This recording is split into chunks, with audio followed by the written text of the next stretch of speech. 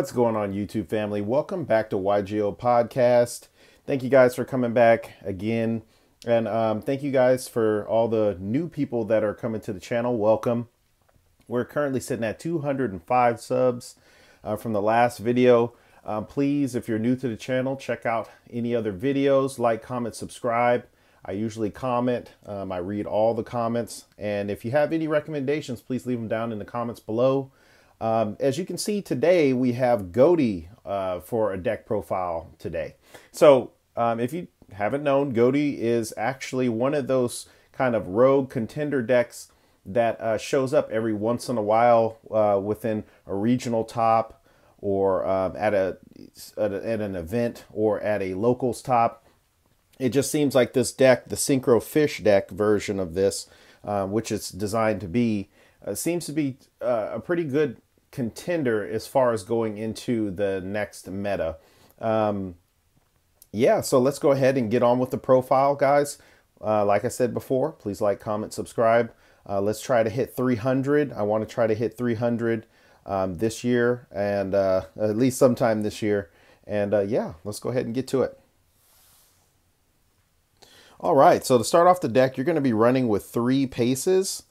So you're going to be having three paces in the deck. Uh, Paces is pretty much your initiator. This is your starter. Uh, so Pace's effect is that um, you can banish, if when it's face up on the field, you can banish it to um, special summon a fish, one fish monster from your hand. Okay, so um, that's already a pretty good effect. It being a level two tuner water fish type um, has quite a bit of synergy, as you know, with Totally Awesome and with any other um, aqua types out there, as well as Sprite. Uh, when it's banished, it can come back during the next standby phase. And then, uh, if it's during your opponent's main phase, you can activate an effect to where, um, as soon as that effect resolves, you can synchro summon. So the card itself is fairly strong. Um, it's fairly strong and it's also quite unique. So what I like about the card is that um, it, uh, it enables a lot of synchro options on your opponent's turn. Okay, so uh, going on to the next is that you have one Zep Ruby of the Ghoti, okay? And its effect is that you can banish this card from your hand, then target one fish monster in your graveyard, banish it. During your opponent's turn, if this card is banished, you can special summon it. This card, if this card is special summoned, except uh, during the damage step, immediately after this effect resolve, you can synchro summon one fish synchro monster using this card you control. You can only use effective Zep uh, each uh, once per turn. Okay, so Zep just it kind of follows suit with the whole entire strategy of the deck, which is essentially just facilitating extra synchro summons. All right, and then you're going to be running one Shift Fairy of the Ghoti. All right, and Shift is going to facilitate the main the same thing. Okay, and it's gonna this whole deck's theme is just essentially banishing fish monsters, bringing them back during your opponent's standby phase and then synchro summoning for a big monster for a big boy Ghoti on your opponent's turn. Okay, so Shift's effect is also um, actually the stats of the card, level 2 Aqua Fish type, also a tuner. Okay, its effect states that you can banish this card from your graveyard, then target one fish you control, it gains 500 attack till the end phase of this turn.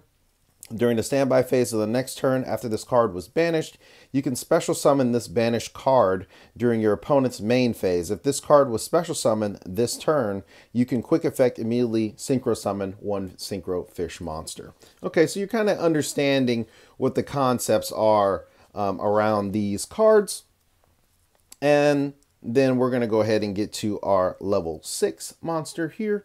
And it's going to be Snopios, the Shade of the Ghoti. Uh, so Snopios effect say, states that during the main phase, quick effect, you can banish two fish monsters from your hand or graveyard to special summon this card from your hand.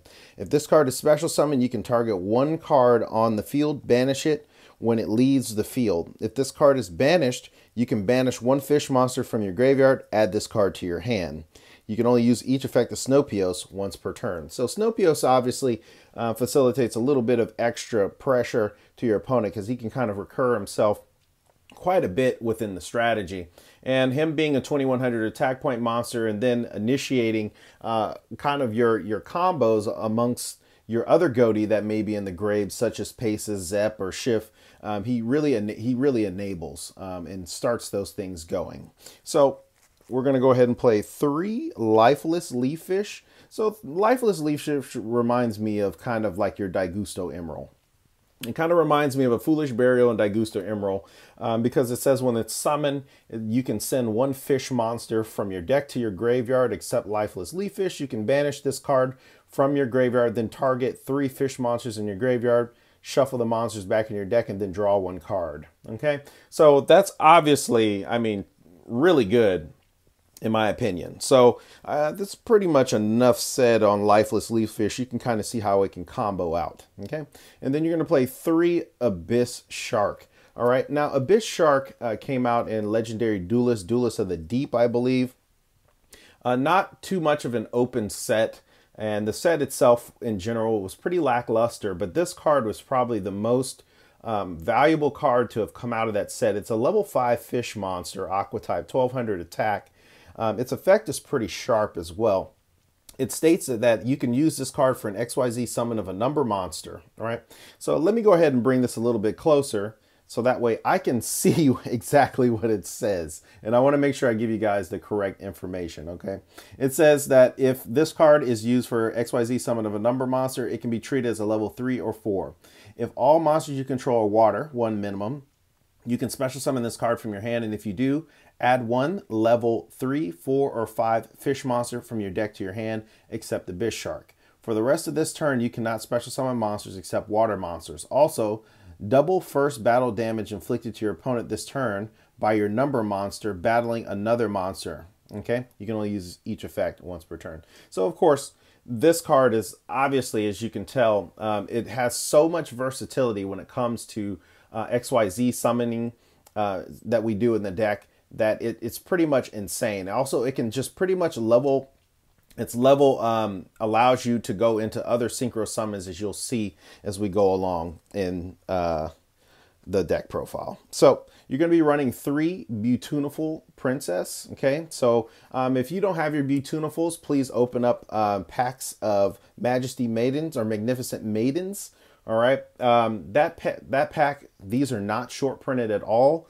Um, and if you like, if you don't want to open up any of those packs, please go online, buy your singles. These things are extremely cheap now. They're roughly about $14 a piece as a rare. They've got a reprint as an ultra rare. It's an excellent card. And here's what it states. Beautiful Princess is a level 1 water fish type monster, 0 attack, 0 defense. When this card is normal or special summon, you can banish this card. Uh, special summon 1 level 4 or lower fish type monster from your deck except Beautiful Princess. All right. So that makes a lot of sense in terms of what kind of deck we are it what kind of deck we're running here, right? And then you're going to run one Silent Angler, and Silent Angler is um, uh, it's it's a great card, and you're going to see this in any water strategy really, besides Marincess. Level four fish type. Uh, if you control a water monster, you can special summon this card from your hand, but you cannot special summon monsters from your hand for the rest of the turn.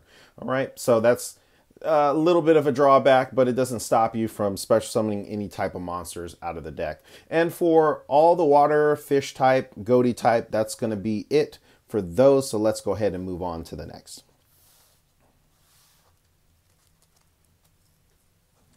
So we're going to be running something a little bit different, okay? And I don't want you guys to, you know, uh, rage too much about this, but we're going to be running three uh, Supay Duskwalker and one Supay. And the reason why we're running this, um, and I picked up this idea from another deck profile. I tested it out, and it's actually a really great synchro strategy. Essentially, what it, a Supay does is that Supay, the Duskwalker, so um, the Duskwalker will you can discard one card, special summon um, this card from your hand, and it is a level five monster. Okay, and what it'll do is then it'll allow you to special summon one Supay from your deck, which is a uh, Earth Fiend Tuner. Okay, so what that allows you to do is go into level sixes, and since your level six Synchro Fish is completely generic, okay, you can see your level 6 synchro fish is completely generic. It allows you to go into those synchro plays um, and to essentially get your combo started because Arionpos is the way that you can, if you're really lacking on anything, Arionpos can get your uh, play started as you'll see as I go uh, further into the profile. All right, and that does it for all the monsters that's in the deck. And then the next cards we're going to play is we're going to play three, and this card hasn't seen play, and this is what gives it play. This is we're going to play three Ready Fusion and then one instant fusion, okay? And those are just for our targets in our extra deck. And then we're going to play one called by the grave. All right. So these cards will obviously um, be our extenders for the deck, uh, with the exception of called by the grave. And now for our hand traps. All right. For our hand traps, we're going to be playing three dimension shifter, uh, for obvious reasons, Ghoti can most of your combos facilitate around banished cards or cards being banished. Then um, you're going to be playing three Magnamhut and then three Druiswurm. Okay, so uh, pretty much self-explanatory. Hate to put that, hate to have everything to have Bystials in here. They're just so good this format. Uh, so until something happens, uh, we'll keep having to play them. They just provide so much pressure on the board and their effects to banish anything out of the graveyard. It really does help um, you play against other strategies. And for our last main deck cards, we're going to be playing some things, okay? So we're going to be playing two Gozen Match. So this is going to be to really help um, lock out your opponent and kind of limit their plays.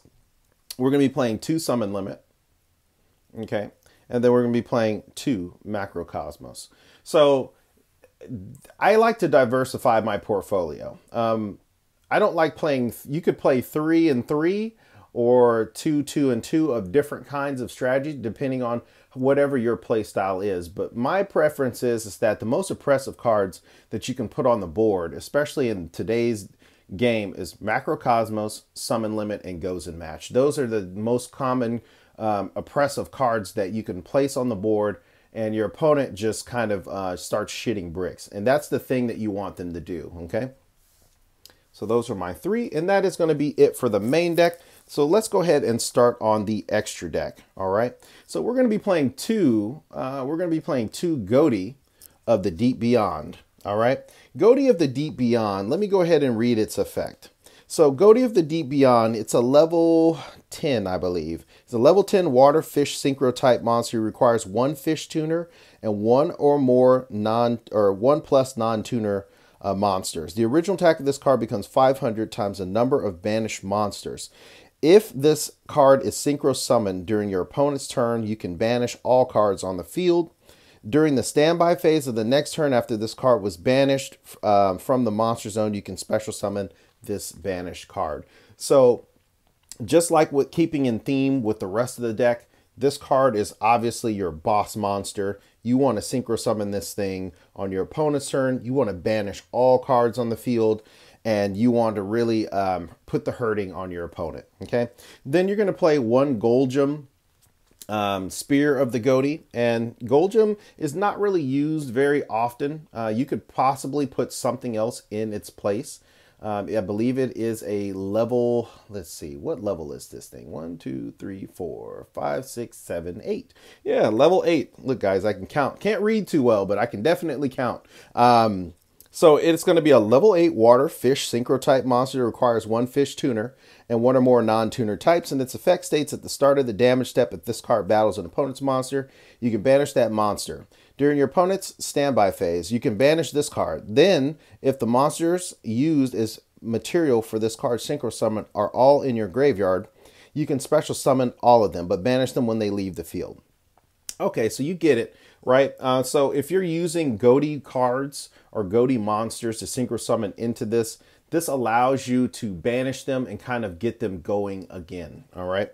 Um, I, I could see why people really wouldn't want to use it too much. I do think it works great as a um, kind of a, of, of a beater, in my opinion. But anyway, moving on.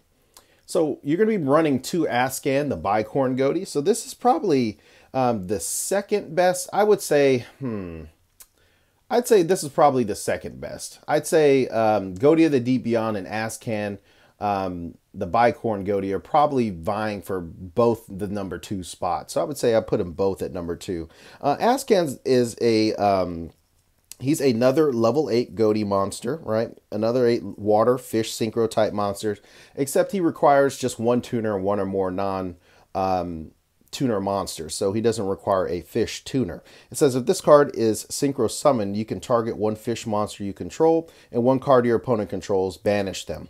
If this card is banished, you can banish one fish monster from your graveyard, special summon this card. So as you can see, he can bring himself back consistently. And he works well when he's on the field with Macrocosmos, especially if you have um, material in your graveyard to continually banish him. Then you're going to be running two of your Arionpos, all right, uh, Serpent of the Ghoti. And it is a level five, I'm sorry, level six water synchro type monster that just requires one tutor, one non-tuner type monsters. And it says if this card is synchro summoned, you can banish one level six or lower fish monster from your deck. If this card is sent to the graveyard as synchro material, you can target one fish monster in your graveyard banish that target. Then you can add one fish monster with an equal or lower level from your deck to your hand. You can only use each effect once per turn. So as you can see, this card itself, if you can get this thing onto the field or the faster you can, it will facilitate you really turboing out the rest of the deck. All right. So the the rest of the cards will be sort of um, self-explanatory. So you're going to be running one Chengying, all right? Self-explanatory just due to the fact that, um, you know, Chengying is a water-type wyrm monster and also very hard for other decks to get over. You're going to be running one Stealth Kraken Spawn, and then one Stealth Kraken. So this works extremely well with Gozen match. As you know, like Stealth Kraken will change all monsters on the field to water. So um, when you use Gozen match, it will really hurt your opponent. Okay, and then um, you're going to be running one Abyss Dweller, one Abyss Keeper, and then you're going to be running one. Um, what do they call this? What do they call this? They call her the White Lady, right? They call her the uh, White Lady doesn't play any games, something like that. but uh, you'll be running one Underworld Goddess of the Closed World, okay? Then, as far as your Ready Fusion targets, you'll be running one um, Alavan, the Essence of Vanity, and then you'll be running one Rare Fish. Okay, so that is going to be the Ghoti deck profile. I hope it's helped. Um, I really do enjoy playing this deck.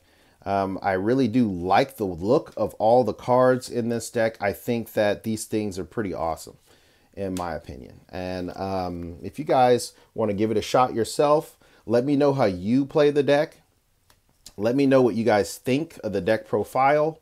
And please, um, if you're not a part of any of the social, you can find me on um, Facebook at YGO Decks. And also you can find me on um, Twitter and you can find me on Instagram. Okay. Uh, I look forward to seeing and hearing from you guys. Please uh, make sure that you like, comment, subscribe to the video, um, and get that algorithm up and going. Goal next goal will be 300. Hey guys, um, this has been YGO Podcast. I really appreciate all the support as usual. I'll see you guys at the next conversation. Peace.